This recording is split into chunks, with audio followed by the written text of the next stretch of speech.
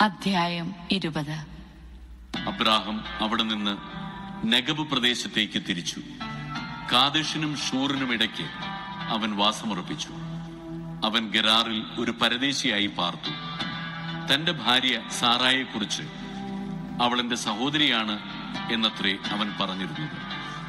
ഗരാറിലെ രാജാവായ അബിമെലക് സാറായെ ആളയച്ചു വരുത്തുകയും സ്വന്തമാക്കുകയും ചെയ്തു. ദൈവം രാത്രി സ്വപ്നത്തിൽ പ്രത്യക്ഷപ്പെട്ട് അഭിമേലക്കിനോട് പറഞ്ഞു നീ സ്വന്തമാക്കിയിരിക്കുന്ന സ്ത്രീ നിമിത്തം നീ ഇതാ പിണമായി തീരുവാൻ പോകുന്നു. കാരണം അവൾ ഒരുവന്റെ ഭാര്യയാണ്. അഭിമലക്ക് അവളെ സമീപിച്ചിട്ടില്ലായിരുന്നു. അവൻ ചോദിച്ചു കർത്താവെ നിരപരാധനെ അങ്ങ് വധിക്കുമോ? അവൾ എന്റെ സഹോദരിയാണ് എന്ന് അവൻ തന്നെയല്ലേ എന്നോട് പറഞ്ഞത്. അവൻ എന്റെ സഹോദരനാണ് എന്ന് അവളും പറഞ്ഞു. നിർമ്മല ഹൃദയത്തോടും കറയറ്റ കൈകളോടും കൂടെയാണ് ഞാൻ ഇത് ചെയ്തത്. അപ്പോൾ ദൈവം സ്വപ്നത്തിൽ അവനോട് പറഞ്ഞു നിർമ്മല ഹൃദയത്തോടെയാണ് നീ ഇത് ചെയ്തത് എന്ന് എനിക്കറിയാം. എനിക്കെതിരായി പാപം ചെയ്യുന്നതിൽ നിന്ന് ഞാനാണ് നിന്നെ തടഞ്ഞത്. അതുകൊണ്ടാണ് അവളെ തൊടാൻ നിന്നെ ഞാൻ അനുവദിക്കാതിരുന്നത്. അവന്റെ ഭാര്യയെ തിരിച്ചേൽപ്പിക്കുക. അവൻ പ്രവാചകനാണ്. അവൻ നിനക്ക് വേണ്ടി പ്രാർത്ഥിക്കും. നീ ജീവിക്കുകയും ചെയ്യും.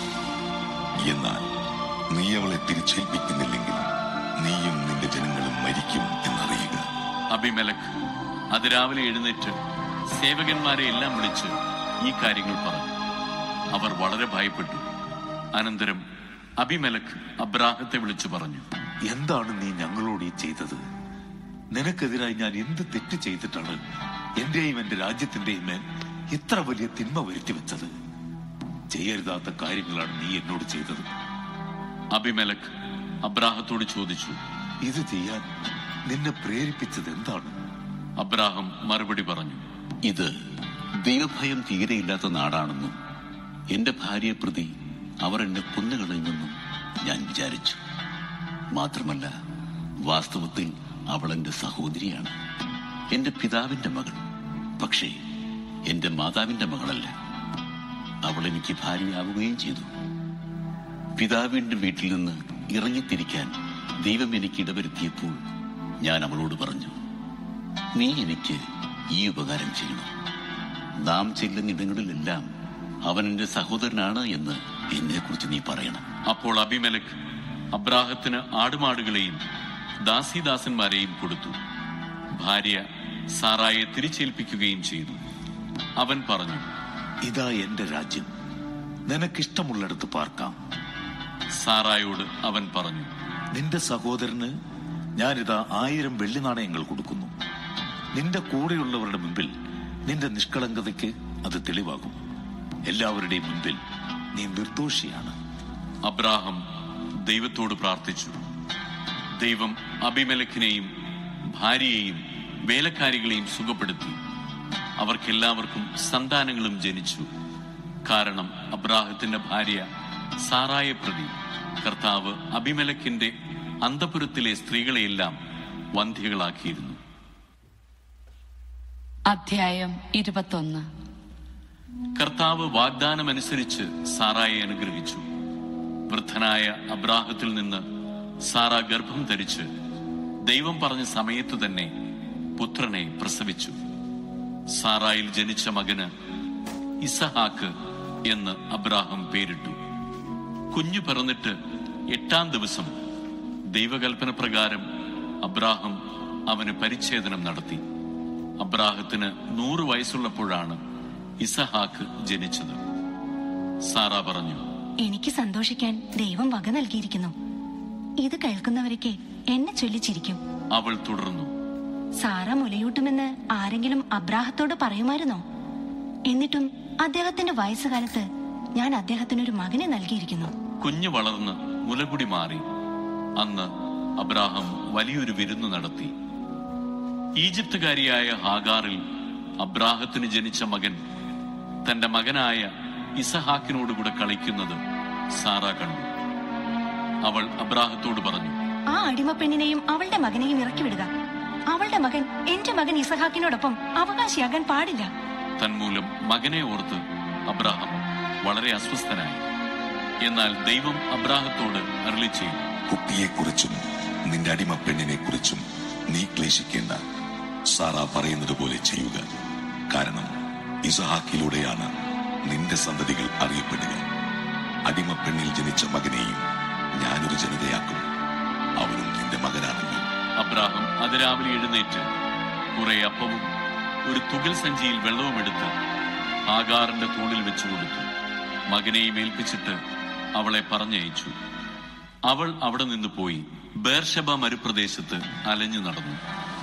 തുകൽ സഞ്ചിയിലെ വെള്ളം തീർന്നപ്പോൾ അവൾ കുട്ടിയെ ഒരു കുറ്റിക്കാട്ടിൽ കിടത്തി. കുഞ്ഞു മരിക്കുന്നത് എനിക്ക് കാണാൻ വയ്യ എന്ന് പറഞ്ഞ് അവൾ കുറെ അകലെ ഒരമ്പയത്ത് ദൂരെ ചെന്ന് എതിർവശത്തേക്ക് തിരിഞ്ഞിരുന്നു. കുട്ടി ഉച്ചത്തിൽ കരയാൻ തുടങ്ങി. കുട്ടിയുടെ കരച്ചിൽ ദൈവം കേട്ടു. സ്വർഗത്തിൽ നിന്ന് ദൈവത്തിന്റെ ദൂതൻ അവളെ വിളിച്ചു പറഞ്ഞു നീ വിഷമിക്കേണ്ട. ഭയപ്പെടുകയും വേണ്ട. കുട്ടിയുടെ കരച്ചിൽ ദൈവം കേട്ടിരിക്കുന്നു.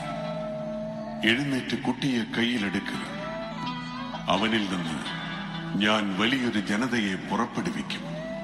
ദൈവം അവളുടെ കണ്ണു തുറന്നു. അവൾ ഒരു കിണർ കണ്ടു. അവൾ ചെന്ന് തുകൽ സഞ്ചി നിറച്ച് കുട്ടിക്ക് കുടിക്കാൻ കൊടുത്തു. ദൈവം ആ കുട്ടിയോടുകൂടി ഉണ്ടായിരുന്നു.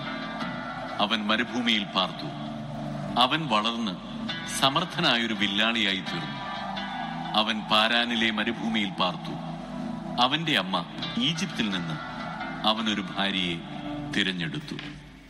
അക്കാലത്ത് അബിമെലക്കും അവന്റെ സൈന്യാധിപൻ ഫിക്കോളും അബ്രാഹത്തോട് പറഞ്ഞു നിന്റെ പ്രവർത്തനങ്ങളിലെല്ലാം ദൈവം നിന്നോടുകൂടെയുണ്ട് അതുകൊണ്ട് എന്നോടും എന്റെ സന്തതികളോടും അന്യായമായി പെരുമാറില്ലെന്ന് ദൈവത്തിന്റെ മുമ്പിൽ ശപഥം ചെയ്യുക.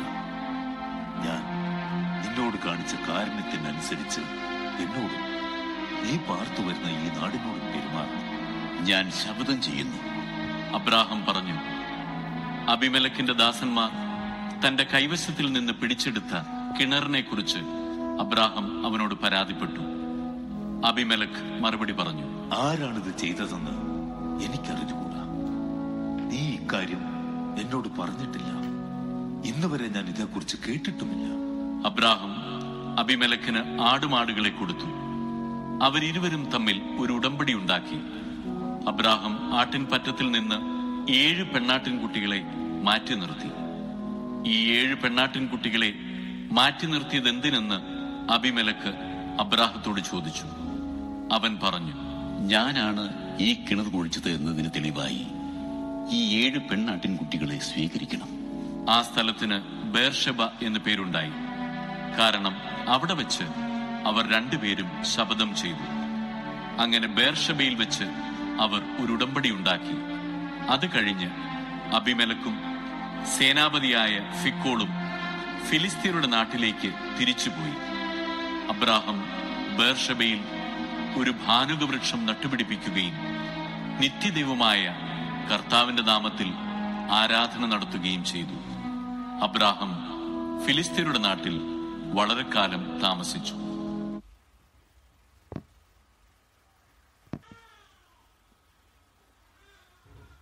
അധ്യായം ഒൻപത്. ജോബ് പറഞ്ഞു. അതങ്ങനെ തന്നെ. ഒരുവന് ദൈവത്തിന്റെ മുൻപിൽ എങ്ങനെ നീതിമാനാകാൻ കഴിയും? ഒരുവൻ അവിടത്തോട് വാഗ്വാദത്തിൽ ഏർപ്പെട്ടാൽ ആയിരത്തിൽ ഒരു തവണ പോലും അവിടത്തോട് ഉത്തരം പറയാൻ കഴിയുകയില്ല. അവിടുന്ന് ജ്ഞാനിയും ബലിഷ്ഠനുമാണ്. അവിടത്തോട് എതിർത്ത് ആർ ജയിച്ചിട്ടുണ്ട്. അവിടുന്ന് പർവതങ്ങളെ നീക്കിക്കളയുന്നു. തന്റെ കോപത്തിൽ അവയെ മറിച്ചു കളയുന്നു എന്നാൽ അവ അതറിയുന്നില്ല. അവിടുന്ന് ഭൂമിയെ പ്രകമ്പനം കൊള്ളിക്കുന്നു. അതിന്റെ തൂണുകൾ വിറയ്ക്കുന്നു. അവിടുന്ന് സൂര്യനോട് കൽപ്പിക്കുന്നു. അത് ഉദിക്കുന്നില്ല. അവിടുന്ന് നക്ഷത്രങ്ങൾക്ക് മുദ്രവയ്ക്കുന്നു അവിടുന്ന് മാത്രമാണ് ആകാശത്തെ വിരിച്ചത്. അവിടുന്ന് സമുദ്രത്തിലെ തിരമാലകളെ ചവിട്ടിമെതിക്കുന്നു സപ്തർഷി മണ്ഡലം മകയിരം കാർത്തിക എന്നിവയെയും തെക്കേ നക്ഷത്രമണ്ഡലത്തെയും അവിടുന്ന് സൃഷ്ടിച്ചു. ദുർജ്ഞേയമായ മഹാകൃത്യങ്ങളും എണ്ണമറ്റ അത്ഭുതങ്ങളും അവിടുന്ന് പ്രവർത്തിക്കുന്നു. അവിടുന്ന് എന്നെ കടന്നു പോകുന്നു. ഞാൻ അവിടുത്തെ കാണുന്നില്ല. അവിടുന്ന് നടന്നു നീങ്ങുന്നു. ഞാൻ അവിടുത്തെ അറിയുന്നില്ല. അവിടുന്ന് പിടിച്ചെടുക്കുന്നു. തടയാൻ ആർക്ക് കഴിയും? എന്താണ് ഈ ചെയ്യുന്നത് എന്ന് ആർക്ക് ചോദിക്കാൻ കഴിയും? ദൈവം തന്റെ കോപത്തെ പിൻവലിക്കുകയില്ല. റാഹാബിന്റെ സഹായകർ അവിടുത്തെ മുൻപിൽ കുമ്പിടുന്നു. അപ്പോൾ അവിടുത്തോട് ഉത്തരം പറയാൻ എനിക്ക് എങ്ങനെ വാക്കുകിട്ടും ഞാൻ നീതിമാനായിരുന്നാലും അവിടുത്തോട് മറുപടി പറയാൻ എനിക്ക് കഴിയുകയില്ല.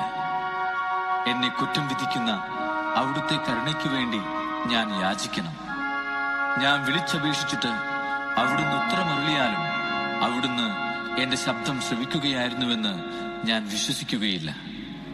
എന്തെന്നാൽ കൊടുങ്കാറ്റയച്ച് അവിടുന്ന് എന്നെ തകർക്കുന്നു. അകാരണമായി എന്റെ മുറിവുകൾ വർദ്ധിപ്പിക്കുന്നു. ശ്വസിക്കാൻ പോലും അവിടുന്ന് എന്നെ അനുവദിക്കുന്നില്ല. തിക്താനുഭവങ്ങൾ കൊണ്ട് അവിടുന്ന് എന്നെ നിറയ്ക്കുന്നു. ഇതൊരു ബലപരീക്ഷണമാണെങ്കിൽ അവിടുന്ന് തന്നെ വിജയിക്കും. ഇത് നീതിയുടെ കാര്യമാണെങ്കിൽ എന്റെ ന്യായവാദം കേൾക്കാൻ ആർ അവിടുത്തെ വിളിച്ചു വരുത്തും. ഞാൻ നിഷ്കളങ്കനായിരുന്നാലും എന്റെ വാ തന്നെ എന്നെ കുറ്റം വിധിക്കും. ഞാൻ കുറ്റമറ്റവനാണെങ്കിലും അവിടുന്ന് എന്നെ കുറ്റക്കാരനായി തെളിയിക്കും. ഞാൻ നിഷ്കളങ്കനാണ്. ഞാൻ എന്നെ തന്നെ പരിഗണിക്കുന്നില്ല. ഞാൻ എന്റെ ജീവനെ വെറുക്കുന്നു. എല്ലാം ഒന്നുപോലെയാണ്. അതിനാൽ ഞാൻ പറയുന്നു അവിടുന്ന് നിഷ്കളങ്കനെയും ദുഷ്ടനെയും ഒന്നുപോലെ നശിപ്പിക്കുന്നു. അനർത്ഥം അപ്രതീക്ഷിതമായ മരണത്തിന് കാരണമാകുമ്പോൾ അവിടുന്ന് നീതിമാനുണ്ടായ വിപത്തിൽ പരിഹസിച്ച് ചിരിക്കുന്നു. ഭൂമി ദുഷ്ടന്റെ കൈകളിൽ ഏൽപ്പിക്കപ്പെട്ടിരിക്കുന്നു. ന്യായാധിപന്മാരുടെ മുഖം അവിടുന്ന് മൂടിക്കളയുന്നു. അവിടുന്ന് അല്ലെങ്കിൽ മറ്റാരാണ് ഇത് ചെയ്തത്? എന്റെ ദിനങ്ങൾ ഓട്ടക്കാരനേക്കാൾ വേഗത്തിൽ പായുന്നു. അവ പറന്നുപോകുന്നു ഒരു നന്മയും കാണുന്നില്ല.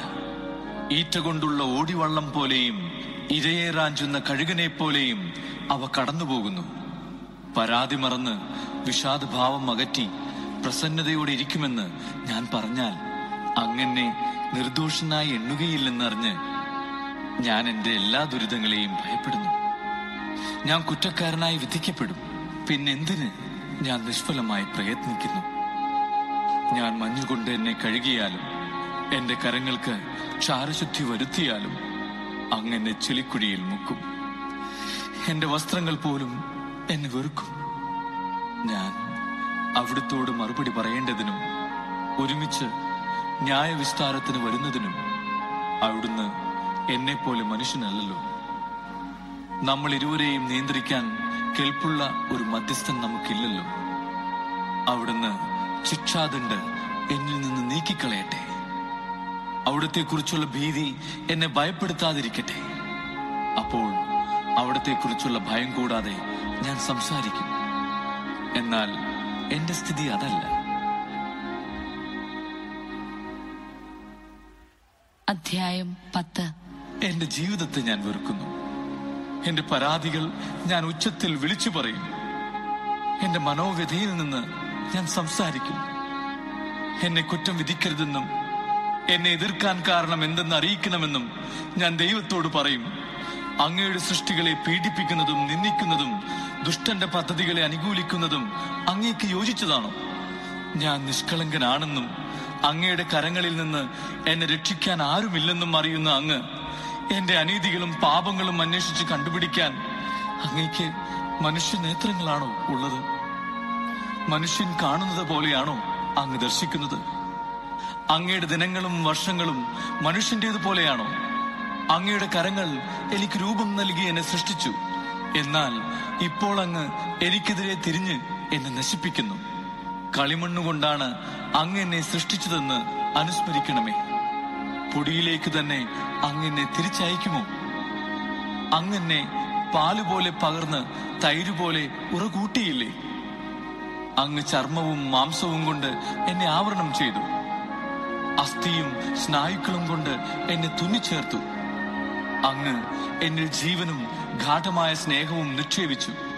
അങ്ങയുടെ പരിപാലന എന്റെ ആത്മാവിനെ സംരക്ഷിച്ചു. എന്നിട്ടും ഇവയെല്ലാം അങ്ങ് ഹൃദയത്തിൽ മറച്ചുവെച്ചിരുന്നു അങ്ങയുടെ ഉദ്ദേശം ഇതായിരുന്നുവെന്ന് ഞാൻ മനസ്സിലാക്കുന്നു. ഞാൻ പാപം ചെയ്താൽ അങ്ങനെ ശ്രദ്ധിക്കുന്നു. എന്റെ അതിക്രമങ്ങൾക്ക് എന്നെ ശിക്ഷിക്കാതെ വിടുന്നുമില്ല. ഞാൻ ദുഷ്ടനാണെങ്കിൽ എനിക്ക് ദുരിതം. ഞാൻ നീതിമാനാണെങ്കിൽ എനിക്ക് ശിരസ് ഉയർത്താൻ സാധിക്കുന്നില്ല. അവമാന ബോധത്തോടെ ഞാൻ എന്റെ പീഠകളെ കാണുന്നു. ഞാൻ ശിരസ് ഉയർത്തിയ സിംഹത്തെ പോലെ അങ്ങെന്നെ വേട്ടയാടും. വീണ്ടും അങ്ങ് എനിക്കെതിരായ അത്ഭുതങ്ങൾ പ്രവർത്തിക്കും. എനിക്കെതിരെ അങ്ങ് പുതിയ സാക്ഷികളെ അവതരിപ്പിക്കും. എന്റെ നേർക്കുള്ള പീഡനങ്ങൾ അങ്ങ് വർദ്ധിപ്പിക്കും. പുതിയ സൈനികരെ അങ്ങ് എനിക്കെതിരെ അണിനിരത്തും. അമ്മയുടെ ഉദരത്തിൽ നിന്ന് എന്തിന് അങ്ങനെ പുറത്തു കൊണ്ടുവന്നു? ജന്മം ലഭിക്കാത്തവനെ പോലെ അമ്മയുടെ ഉദരത്തിൽ നിന്ന് എന്നെ ശവക്കുഴിയിലേക്ക് കൊണ്ടുപോയിരുന്നെങ്കിൽ ആരും എന്നെ കാണുന്നതിന് മുമ്പ് ഞാൻ മരിച്ചിരുന്നെങ്കിൽ അന്ധകാരാവൃതമായ സ്ഥലത്തേക്ക് പ്രകാശം തമസ്സുപോലെ പോലെ ഇരിക്കുന്ന അന്ധകാരത്തിന്റെയും ശൂന്യതയുടെയും ദേശത്തേക്ക് ഒരിക്കലും മടങ്ങി വരാത്ത വിധം ഞാൻ പോകുന്നതിന് മുമ്പ് എന്നെ ഏകനായി വിടുക. ഞാൻ അല്പം ആശ്വാസം കണ്ടെത്തട്ടെ എന്റെ ജീവിതകാലം ഹ്രസ്വമല്ലേ?